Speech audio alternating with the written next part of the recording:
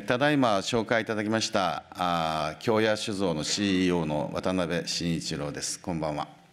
Good evening, everyone. As introduced, I'm Shinichiro Watanabe, the CEO from Kyoya Shuzo Distillery. あの皆様は、えー、日本の本格焼酎という蒸留酒をご存知でしょうか Does everyone here know about Japan's distilled liquor called authentic shochu? えー、本日はあその本格焼酎についていくつかあ話題を皆様に提供させていただきたいというふうに思います。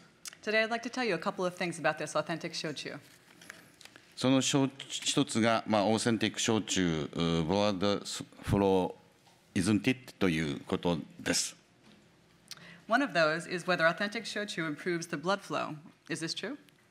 最後までご成長いただき、えー、なるほど、そういうことだったのかと。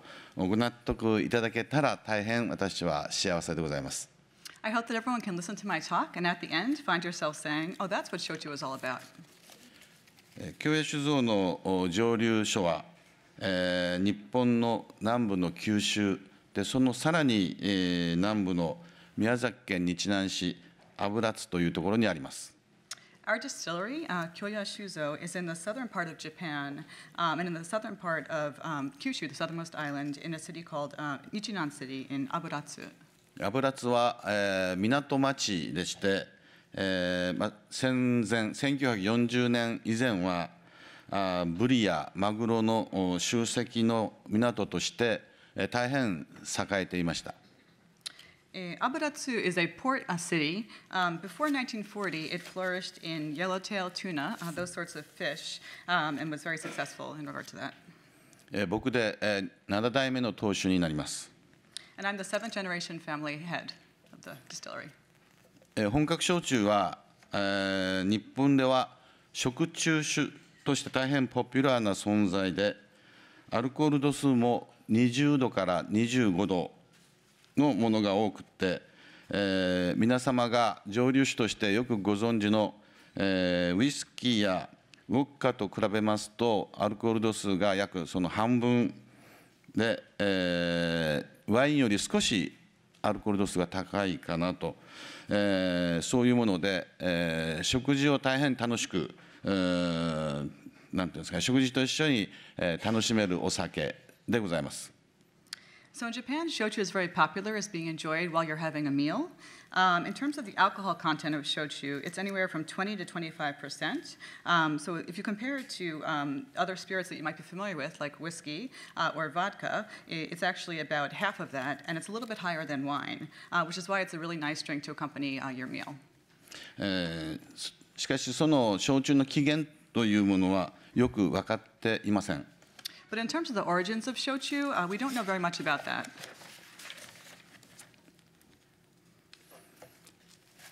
比較的、えー、有力な説はシャム現在のタイからあ沖縄の琉球を経由して、えー、日本にもたらされたものとするものです。There's one relatively popular theory that says shochu entered Japan from Siam, uh, which would now be the Thailand, uh, into um, Ryukyu, which is what would currently be Okinawa uh, in Japan. えー、シャムの蒸留酒はさらに、えー、中東に起源を持ち、アラビア語でアラクと呼ばれていました。Uh, and this Siamese distilled liquor actually had its origins in the Middle East, uh, and in Arabic um, it was called Arak. 焼酎は 古くは荒木酒もしくは蒸留する機械を指す乱乱引きと呼ばれました。Uh, since olden times, shochu has also had other names. Um, one is um, araki, uh, alcohol. Another is alembic, which refers to the uh, distiller or the distillation still. この木札は神社の屋根裏から見つかったものです。Uh, this wooden tag was found in the attic of a uh, shrine. 1559年8月11日という日付と、えー、大工2名の名前が書かれており、えー、いわゆるこの神社の聖主は大変なケチン坊で一度も焼酎をくれることがなかった、えー、一体何ということかと記されています。In terms of what's written on this wooden tag, um, the date is August 11th, 1559, and it bears the names of two uh, carpenters. And what it says is, Our client is such a cheapsta- cheapskate. He's never treated us to shochu. What's that all about? このことは、えー少なくとも16世紀頃には焼酎が作られていたということをお示しています。 So, according to the literature recorded in Japan, this indicates that shochu has been made since at least the 16th century.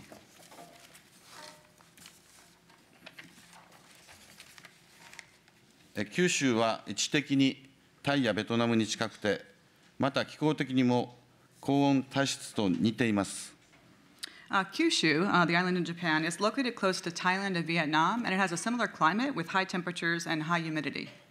えーそういうことも関係しているんでしょうか？日本国内に、本格焼酎の製造所は855箇所ありますが、2016年にはあそその蒸留所で、えー51万8000キロリットルが製造されています。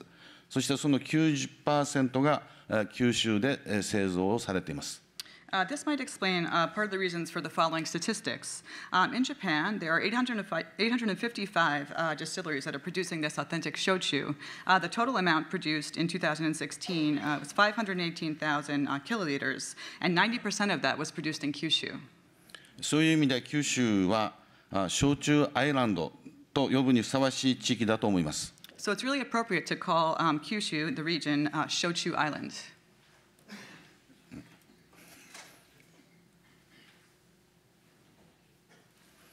本格焼酎の製造方法をちょっとご説明しますが、あーそれではこれはどのような方法で作られているのでしょうか。Now I'd like to share with you how shochu is actually made. Um, let's talk about how authentic shochu is manufactured. それは米にカビを生育させ、麹という物質の働きを利用して、えー並行副発酵というかなり高度な技術を持って、えー作られています。Uh, using the function of a substance called koji, this is a mold uh, that grows on the rice. Um, shochu is produced through the very advanced technique. Uh, it's called multiple parallel fermentation. えー本格焼酎の製造には先ほど申しましたように麹が使われておりましてえーかなり重要な役割を持っています Uh, the koji that I just referred to earlier plays a very important role in the uh, manufacturing of authentic shochu. えーその一つに糖化作用というのがあります This is because one reason is that it has a sugar conversion mechanism. えー麹は蒸した米にカビをお育成してその米のでんぷん質を、えー米のでんぷん質やあー原料になるもののでんぷん質を、えー糖分に、えー変える働きを持つ酵素を作ります And so koji is a, a species of mold um, that grows on the steamed rice, and it has a role in converting the rice starch into sugar uh, by creating enzymes that do this. この糖分をお焼酎酵母がアルコールに変えていきます。And then the shochu yeast is what turns this sugar content into alcohol. この2つ目の重要な役割はもろみといって、えー発酵中の液体のことを指しますが、あ酒母、お麹、蒸した芋など仕込み水を入れて作るもので、いわば焼酎になる前の段階のものを、えー言います。Uh, so the second important role is that of um, moromi, which is a mash. Um, this is something that is in the pre-shochu stage. Uh, this mash is a liquid uh, that during fermentation would be made from the yeast starter, um, the koji, sweet potato, and mother water. えーそれそしてその、えー麹はあーいわゆるもろみをお雑菌から守るう役割も果たしています。So the koji will also protect this moromi um, from bacteria. うん焼酎に使う麹は、えー白麹と黒麹がありますがあ酒を作るときに、えー使う木麹とはあちょっと異なってまして、えー大変多くのおクエン酸を出します。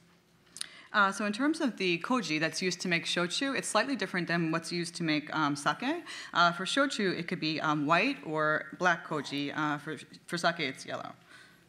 えーそしてそのあのクエン酸で、えーいわゆるもろみを pH3 程度の強い酸度に保ち、えー焼酎の酵母以外の菌が繁殖すすらあするしづらい、えー環境を作ります。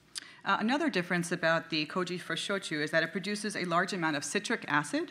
Um, it actually has a very strong, ac- it preserves a very strong acidity, which would be equivalent to a pH of three. And because of this, um, it prevents any other um, bacteria from reproducing other than the, um, the yeast from the shochu itself.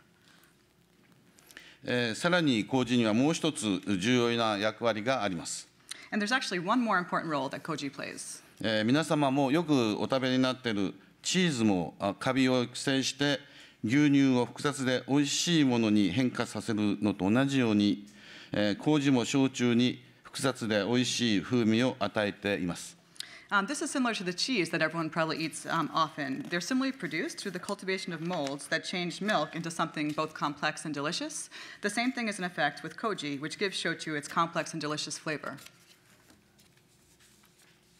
えー本格焼酎の代表的な原料には芋、麦、えー米、えーそば、黒糖などですが、それらの原料が持つえー独特の香りと風味が相まって、えーさらにまろやかで独特の味わいを持った焼酎が出来上がります。Um, some typical shochu ingredients include sweet potato, barley, rice, buckwheat, and brown sugar. And the combination of these ingredients' unique aromas with the flavor of the koji that's being used will create a more mellow shochu um, with unique tastes. えーそれでは、このチャートにえー下沿いながら、芋を主原料としたえー焼酎の作りをお説明します。So I'd like to look at this chart I have up here together, which describes how to make sweet potato-based shochu. えー一えー焼酎のプロセスは一次仕込みと二次仕込みの2段階から構成されています。So the shochu uh, fermentation process is divided into two steps: the first fermentation and the second fermentation. えー一次仕込みはアルコールの発酵のためではなく主に、えー焼酎酵母を大量に純粋培養するためのお工程です。So the first fermentation is actually not to uh, ferment the alcohol, but it's for um, producing a large amount of pure culture um, from the, the shochu yeast. この工程でできたものは時にはあ酒母と呼ばれることもあります。And what's produced can also be called yeast starter. 麹と水が原料でそれに焼酎酵母を加え一時もろみをお作ります。Um, so then the first mash is created um, by adding this shochu yeast to the koji and water. え次に二次仕込みですが、あー主な原料となる蒸した芋に一時もろみと水を加えて、アルコール発酵を目的に、えー発酵させていきます。So next comes the second fermentation, uh, whose purpose is actually the fermentation of the alcohol. Um, this is done by adding the water and the first mash into the main ingredient of the steamed sweet potato. えーこの二次仕込み、えーつまり、えー芋のでんぷん質と、えーでんぷん質を工事の酵素が糖分に変えながら同時にその糖分を焼酎酵母がアルコールに変えていく工程を平行副発酵といい、えー温度の管理がとても重要な要素になります。Uh, so what happens here is the multiple parallel fermentation I mentioned earlier. So during this second uh, fermentation process, the potatoes uh, starch is converted into sugar uh, by the koji, and at the same time, the sugar portion is being cre- uh, converted into alcohol by the shochu uh, yeast. And this is um, co- temperature control is very important at this stage. えー約10日間発酵させた後に、えー蒸留を一度だけ行います。 アルコール度数はあー大体38度から45度程度になります。So after fermenting uh, over the course of about 10 days, uh, distillation takes place once, a single distillation, and the resulting alcohol percentage is 38 to 45. えー焼酎は不思議なことに蒸留酒でありながら食事を一層おいしく食べるための食中酒であることは先にも述べた通りでございます。Um, as I said earlier, one of the remarkable things about shochu is that even though it's a distilled liquor, it has the ability of making um, any meal taste even better. えー魚や肉、野菜などをざ素材とした料理にマッチする焼酎が 必ずあるというほどバラエティに富んだ香り味を持った蒸留酒です Um, shochu will go with go well with uh, fish, meat, and vegetables. Um, there's really no meal that it can't match because of the variety in its um, aroma and taste. これは麹というカビの不思議な力のおかげです And this is really thanks to the amazing power of koji. 先日もフランス人のお客様を東京の銀座のフランス料理店にお招きし本格焼酎とワインとで、えーフランス料理を大変、えー楽しくいただくことができました Uh, the other day, I had dinner in Tokyo with a French friend of mine. We went to a, fr- a French restaurant in Ginza, and while we enjoyed our meal, we had some authentic shochu as well as French wine. It was delicious. えー焼酎には、えーもう1種類主に、えー配糖蜜を原料とした世界標準ではスピリッツに該当するであろうという連続式蒸留焼酎というのがあります Uh, there's another type of shochu called continuous type shochu that is mainly made from molasses, and this would correspond to um, a spirit according to the global standard. えーこの焼酎は年間35万7000キロリットルが、えー生産されていまして、本格焼酎と合わせると87万5000キロリットルになり、皆様がよくご存知のお酒の44万7000キロリットルをはるかに超えた量が日本では愛飲されています。So, a total of um, 357,000 kiloliters of this shochu is produced on an annual basis. And when you put this together with the authentic shochu amount, it's 875,000 um, kiloliters. This amount is actually much more than the quantity of the better known um, sake. That is only 447,000 kiloliters. So, it just shows how popular a drink shochu is in Japan. えー麹とお酵母という不思議な力を持ったものからできる酒は昔は 神様あ神様から授かったものであるというふうに日本人は考えていました。Uh, so sake is something that is made thanks to uh, yeast and the uh, koji, the mold. Um, and this sake was thought to be made by the gods in Japan. えー現在ではあ科学が発達し、えー今までえーご覧いただいたように焼酎のこ、えー製造工程におけるさまざまな自然の力を利用してできたプロセスを理論的に解説することが、えーできています。But as modern science has developed, a variety of natural forces that are used in the manufacturing process that I just explained to you um, can now be explained logically. しかし古来日本の酒の製造は、えー不思議な力によるものと考えられており酒は神様が作っていただいたものという発想がありました Uh, but in ancient times in Japan, it was thought that this creation of uh, shochu and sake was something really uh, magical, and that um, sake was something that was um, made by the gods.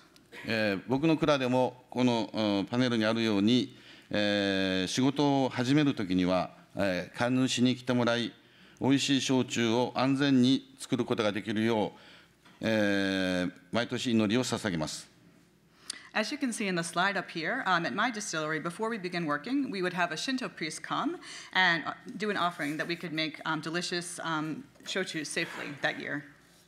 えーそして神様にえー備えた焼酎は新年会などで参加者全員でいただき美味しい焼酎を安全に作るためまたお客様に喜んでもらうためにえー全員で力を合わせて努力することを誓います And this shochu that we produce and that we offer to the gods is also something that all the employees enjoy at our year-end party or, or our New Year's party. Um, as we enjoy this delicious shochu, we um, pray that we can have a safe and delicious um, shochu making year ahead, and that our customers will be very happy. This is something that we vow every year. えー昔より日本には直来というしきたりがあります、Uh, from olden times in Japan, we've had a, co- a customary feast called Naorai. えー直来とは、えー祭りのの終わった後に、えー神前に備えたあお酒や農産物を、えー神食をはじめ参列者のみんなでいただくことを言います Um, this Naorai takes place after a festival has ended, and the sake and other agricultural products that have um, been produced by the gods are actually um, enjoyed by starting with the Shinto priest as well as everyone else in attendance. えー古くからあ神々に米やお酒などをお供えすることにより、えー神様の恩恵や加護をいただくことができるものと考えられています。 Since ancient times, it's been thought by giving offerings to the gods, uh, whether it's rice or um, sake, that you would be able to receive the benefits and blessings. この穀物を皆と一緒に食べること、まあ、共食と言いますが、それにより神とそこにいる人々にお互いが一体となることが直来の根本的な意義であると考えられています。And in eating these items together, uh, the fundamental significance of the naorai is that the gods and the humans can become one through this communal um, sharing of the offerings. その教職の代表がおみきをいただくという言葉でも分かる通り、えー酒でございます。 And there's something called sacred sake, um, or omiki, and this is something that's really representative um, of this uh, communal sharing. 神とお現世をつなぎ、えーさらに参加した全員を共同体とするその架け橋となるのが酒だと言っても過言ではありません。 Um, with this phrase, um, sacred sake, you can see that it's not exaggerating to say that alcohol serves as a literal bridge between the present world and the gods. え三三九度は新郎新婦が神様の前でお酒を飲み、えー、十和のちぎりを誓い、さらにそのお酒を参列した両家の親族一同で飲み、両家を共同体とする儀式になります。We have another ceremony called Sansan Kudo. This is something where a new um, bride and groom would go before the gods and drink this sacred sake, at the same time um, vowing their, or pledging uh, an eternal pledge. Um, in addition, all of their family members and any other attendees would also drink this um, together, um, making the families come together as one. Eh, それではさらに焼酎作りをご理解いただくために、えー、先ほどのチャートを思い出していただきながら弊社の蔵の一点を、まあ、簡単にまとめてございます。To give you a little bit more of an understanding of shochu, um, if you could just remember the chart I showed you earlier, I'd like to talk about what uh, we produce in my distillery throughout the year. えー弊社は原料の一部を子会社でえー栽培しています。Uh, a portion of our um, raw ingredients are grown by one of our subsidiaries. えーアメリカには USDA の有機認定と公社の認定も取得した平八郎というのとカッパの誘い水を輸出しています。Uh, in terms of what we're exporting here to the States, uh, we have um, two different products, one called uh, Heihachiro and one is Kappa no Sasoi Mizu. Uh, they both have a organic um, and a kosher certification from USDA. それでまだ uh, USD は取ってませんが、公社の認定を取得したヘベスクールというお酒も輸出してます。Um, and we have one more uh, that I believe is on hand tonight called Hebes um, this one is not USDA certified, but it is recognized as being kosher. じゃあここでちょっとあの簡単な説画像をご Shochu 覧ください。 production at Kyoya Distiller and Brewer.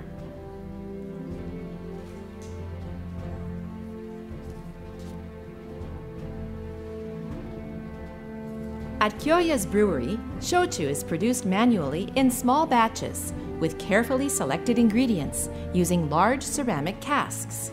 The sweet potatoes, buckwheat, and rice used for some varieties of Kyoya's quality shochu are grown at the farms of our affiliate, Agri Company, with organic fertilizers and a rice duck farming system. No chemical pesticides are used, and we insist on environmentally sustainable practices. Now, let us introduce how these ingredients are grown at our affiliated farms. Before being placed in the nursery beds, the seed sweet potatoes are disinfected with wood and bamboo vinegar.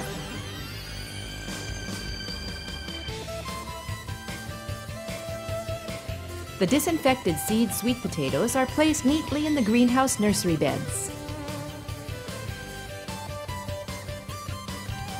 After the seed sweet potatoes are lightly covered with soil and the surfaces are flattened, rice husks are spread over the top. After the nursery beds are watered, the rice husks help to retain moisture. Rice and sweet potatoes for our select products are grown at our affiliate, Agri Company. To ensure safety, our organic fertilizer is made in house. Kyoya is dedicated to producing shochu that is natural and environmentally friendly. At the Agri Company farms, our shochu ingredients are grown with strict adherence to the use of organic fertilizers, natural soil preparation, and no chemical pesticides. In March, when mountain cherry blossoms bloom, we transplant the early season rice seedlings.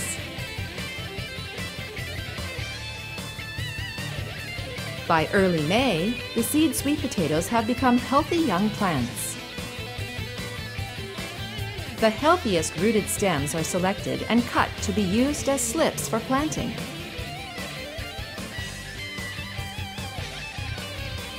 In the sweet potato field, raised beds are covered with plastic mulch films, which have been prepared with planting holes at even intervals. The sweet potato slips are then inserted through these holes. Ducks are set loose in the rice paddies as the rice grows. Ducks eat insects and weeds, and their droppings provide natural fertilizer for the rice. The early season rice is harvested in August.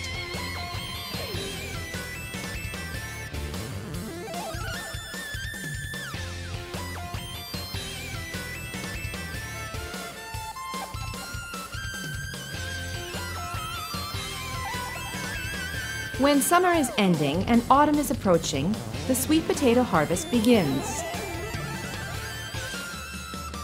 After the sweet potato harvest, the buckwheat is sowed. The buckwheat is then harvested in November.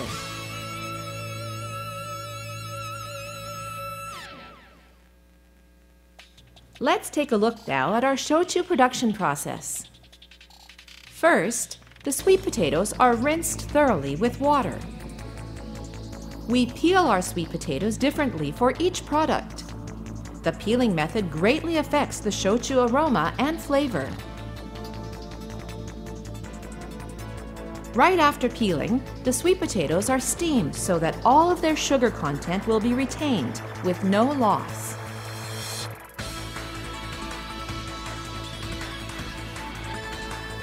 Now for the first stage of shochu production. The process begins by preparing koji rice. Rice is put in a drum to be rinsed. After rinsing, the rice is immersed in water and steamed.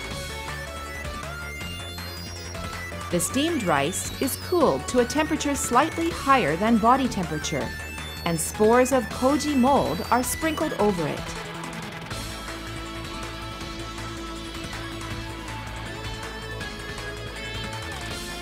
The koji mold proliferates overnight in the drum.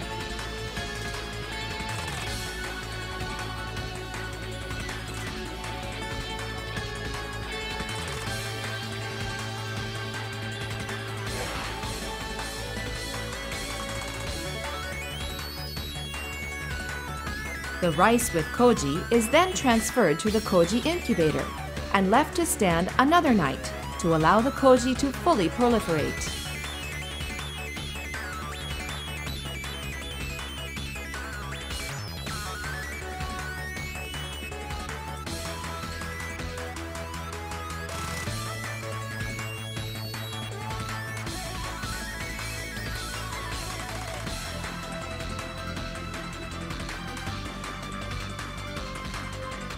Water is poured into ceramic casks, to which yeast and the koji rice are added.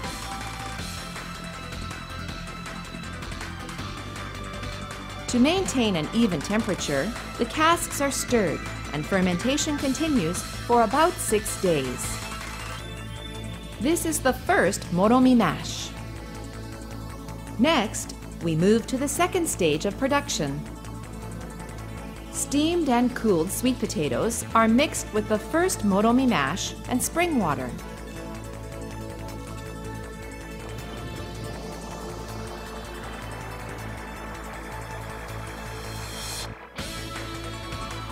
The mixture is sent to large ceramic casks.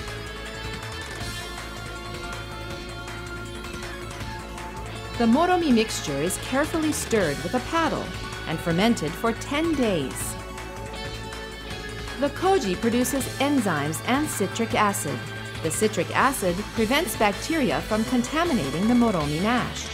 Also, while the enzymes convert the starch from sweet potatoes into sugar, the shochu yeast breaks down the sugar into alcohol and carbon dioxide. This process, called multiple parallel fermentation, characterizes the advanced technology found in Japan's traditional alcohol production methods. Throughout the fermentation process in large ceramic casks, our shochu is produced with meticulous attention in small batches. Now, the second moromi mash is ready to be distilled. For Kyoya's honkaku, or authentic shochu, The second moromi is distilled only once, using the single distillation still. This method allows the shochu to retain the rich flavors of its ingredients. After the long maturing process in a temperature controlled cellar, the shochu is filtered and bottled.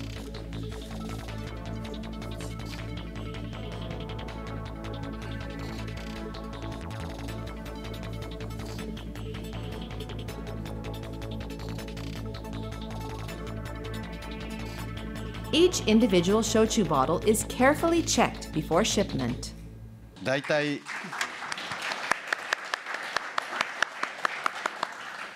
あの焼酎の製造過程っていうのをご理解いただきましたでしょうか、I hope that gave you a better sense of the shochu manufacturing process. えーそれでは本日、えー最後まで真剣に、えーお聞きいただいたお礼としてですね、えー焼酎のとっておきの、えー紅葉を皆様にお教えします。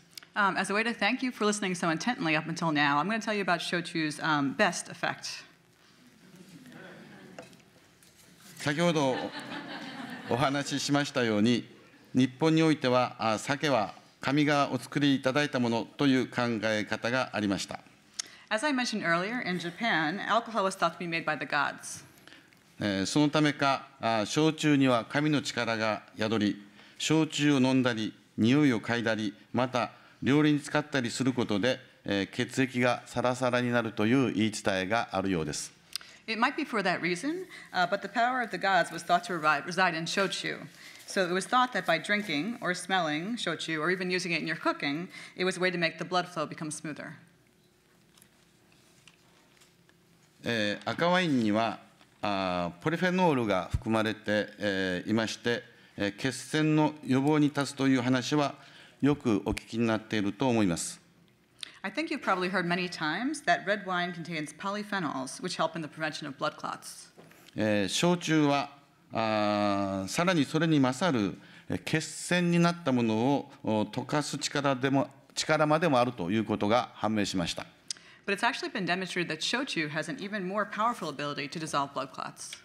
えー1980年当時宮崎医科大学の医学博士三原武史氏と同じく宮崎医科大学生の助教授が実験を行いました。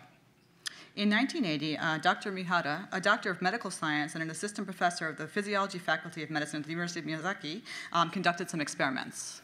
えー表にありますように、えー本格焼酎が持つ匂いや味の物質が血管の内皮細胞からウロキナーゼという血液をサラサラにする酵素を分分泌させる働きがあることが突き止めることができました。The results of his research are up on the screen. Uh, he found that the smell and the taste of authentic shochu increases the activity of the enzyme urokinase. Uh, urokinase is something secre- secreted by the endothelial cells in blood vessels, and it makes the blood flow more smoothly. えー自己管理に厳しいと言われているニューヨーカーに、えーおすすめの、えーお酒は本格焼酎です。Um, so now I'd like to talk to you as New Yorkers who are um, concerned about your health and self-care. I would like to recommend authentic shochu. ニューヨーカーはあ血糖値や血圧、体重など自己の健康には人一倍気を使っているエリートがあ大勢いると聞いています。I've heard that there are many New Yorkers who are really concerned about maintaining their health in regard to their blood sugar, blood pressure, and weight. えー本格焼酎は厳しい法律により、えー蒸留具の添加物が認められていません。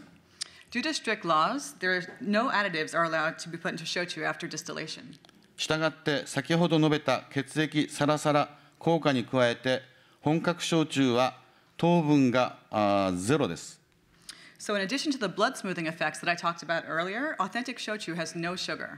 もちろん、アルコールとしてのカロリーはあるのですが、カロリーゼロ、あ,あるので、カロリーゼロではありませんし、これはあくまでもあアルコール飲料です。Uh, but of course, being an alcohol, um, shochu does have some calories, so unfortunately, we can't say it has zero calories. えー従いまして、えー自分の適量を見つけて本格焼酎がニューヨーカーの楽しい食事の友になるとともにまた人生の友となることをお願って、えー終わらせていただきます。I hope that all Oh, I hope that all New Yorkers uh, can enjoy discovering how much of authentic shochu is the right amount for them, and that it can become a lifelong friend that enriches both their meals and their lives. 最後までご清聴ありがとうございました。 I appreciate you listening.